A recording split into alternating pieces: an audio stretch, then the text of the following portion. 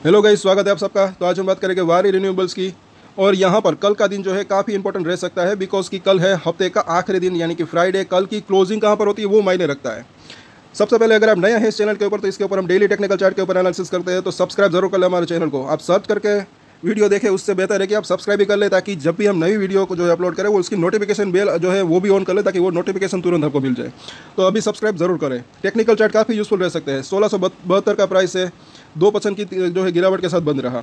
अभी यहाँ पर हो क्या रहा है? ये जो तेज़ी आई, उसके बाद ये गिरावट आई और ये फाइव और नाइन डेज़ का मूविंग एवरेज यहाँ पर कसमकस चल रही है, इसके ऊपर निकल जाए तो अच्छा रह सकता है, वो स्ट्रेंथ वापस आ सकती है।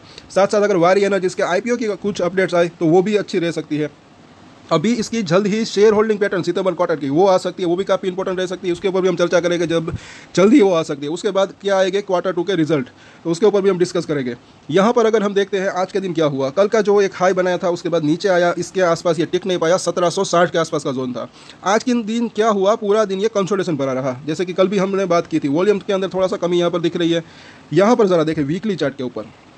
फाइव और नाइन वीक का मूविंग एवरेज यहाँ पर जो है स्ट्रगलिंग चल रही है। अभी थोड़ा सा इसके नीचे क्लोजिंग हुई है तो कल के दिन एटलीस्ट इसके ऊपर ये क्लोजिंग दे दें। थोड़ा बहुत भी तेज़ी आ जाए तो अच्छा रह सकता है। क्योंकि ये दो हफ़्ते अगर देखें, तीन हफ़्ते एक्चुअली इसके ऊपर ही इसने क्लोजिंग दी थी तो वो स्ट्रेंथ वापस आई थी। तो ज़्यादा गिरावट ना आई तो अच्छा रह सकता है। बाकी कल अगर बाज़ार का सेंटीमेंट अच्छा रहा स्टेबल भी रहा तो भी इसके अंदर एक छोटा मोटा बाउंस बैक की संभावना रह सकती है।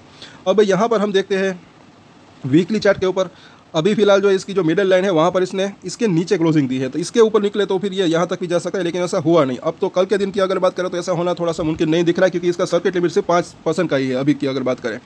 सो आने वाले हफ़्ते में अगर इस लेवल को पार कर दे तो भी अच्छा रह सकता है। इसकी जो ऊपरी लाइन उसके बाद साढ़े तेईस सौ के आसपास है, वहाँ तक जाने की संभावना रह सकती है। डेली चार्ट के ऊपर जब हम इसको देखते हैं तो यहाँ पर सिचुएशन थोड़ी सी अलग है। यहाँ पर इसकी मिडिल लाइन जो है पास ही है। तो कल के दिन इस लेवल लाइन को भी अगर क्रॉस कर दे तो काफ़ी बेहतर रह सकता है। उसके बाद ये 2050 तक जाने की संभावना रह सकती है, जो कि इसकी ऊपरी लाइन है। और ये लेवल जो है पार कर सकता है, अगर तेज़ी आती है, तब की बात है। फ़िलहाल यहाँ पर ये कशमकश चल रही है स्ट्रगलिंग चल रही है पिछले तीन चार दिन से। इसकी जो मिडल लाइन है, पिछली बार इसको क्रॉस किया, उसके बाद यहाँ पर सपोर्ट भी लेने की कोशिश कर रहे हैं और अब इसके ऊपर जाने की कोशिश हो रही है। सपोर्ट की अगर बात करें तो नीचे में साढ़े चौदह सौ के आसपास का जोन दिख रहा है। अभी ये लाइन हालाँकि थोड़ी सी ऊपर जा रही है, इन तीनों ही लाइन के अंदर डेली चेंजेस होते रहते हैं। इसीलिए इसके ऊपर डेली हम नज़र रखते हैं तो ज़्यादा बेहतर रह सकता है। अब अगर यहाँ पर देखें एमएससीडी का एक बेरिस क्रॉस हुआ था, ये अभी भी कंटिन्यू है। स्ट्रेंथ के अंदर तो कमी ही दिख रही है। और यहाँ पर अगर देखें तो R S I forty seven के आसपास है। सपोर्ट एरिया थोड़ा सा दूर दिख रहा है, लेकिन ज़्यादा दूर नहीं। और यहाँ पर अगर देखते हैं, अब इसके सपोर्ट और रजिस्ट्रेशन जो कि काफ़ी यूज़फुल रह सकते हैं। एटलीस्ट ये कल का जो इसने हाई बनाया था, सत्रह सौ साठ, सत्तर के आसपास का, कल या फिर सोमवार, मंगलवार को ये लाइन अगर क्रॉस हो जाए, ये हाई क्रॉस कर दे तो भी अच्छा रह सकता है। अभी क्या हो रहा है, इसके अंदर एक लोअर लो और लोअर हाई की भी ये सिचुएशन बनी हुई है। तो यहाँ पर इसका इस तरीके से एक ब्रेकआउट आ सकता है। उसके लिए मुझे ऐसा लग रहा है कि कुछ वो वारी एनर्जी जिसका आई की कुछ अपडेट्स आ जाए, क्योंकि वो इसी महीने आने की संभावना हो सकती है, लेकिन अभी इसकी डेट अगर आ जाए तो बेहतर रह सकता है। कहीं ना कहीं ये चीज़ दिख रही है।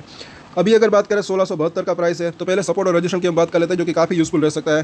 पहला सपोर्ट एरिया जो इसका दिख रहा है, तकरीबन 1640 के आसपास का जोन उसके नीचे जो है 1580 और इसके नीचे जो है तकरीबन पंद्रह सौ बीस रुपये के आसपास का जोन तो ये इसके सपोर्ट दिख रहे हैं। रजिस्ट्रेशन की बात करें तो पहला रजिस्ट्रेशन इसका डेफिनेटली अभी भी जो है सत्रह सौ बीस, कल भी हमने बात की थी, आज बिल्कुल वहीं पर इसने हाई बनाया। उसके बाद जो है ये लेवल पार होता है, फिर सत्रह सौ अस्सी और उसके बाद जो है अठारह सौ पचास रुपये के आसपास का जोन अठारह सौ पचास पार्क होता है, उसके बाद ये दो हज़ार दो हज़ार पचास तक जाने की इसकी संभावना रह सकती है और ये हम बात करें शॉर्ट टर्म की। बाकी लॉन्गर टर्म की बात करें तो एक अच्छी तेज़ी की संभावना रह सकती है, क्योंकि मुझे ऐसा लग रहा है ये रिन्यूएबल एनर्जी सेक्टर के अंदर है तो लॉन्ग टर्म की बात करें तो मुझे ऐसा लग रहा है कि अच्छी तेज़ी की संभावना रह सकती है, लेकिन हाँ ये शॉर्ट टर्म में वॉलेटिलिटी रह सकती है और मार्केट का इफ़ेक्ट इसके ऊपर पड़ सकता है, ऐसा यहाँ पर लग रहा है, क्योंकि मार्केट थोड़ा बहुत स्टेबल भी रह, हो जाता है तो भी अच्छा रह सकता है, ये चीज़ यहाँ पर दिख रही है।